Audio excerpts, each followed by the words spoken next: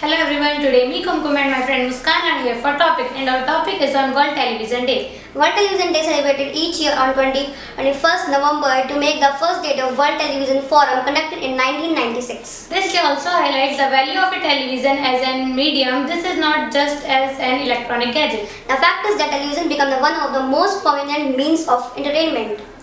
The World Television Day is the day to remember the history of television and commemorate the this day as an World Television Forum.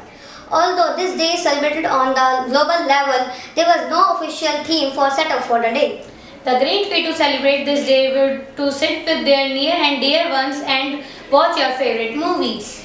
Thank, you and have a cheerful day.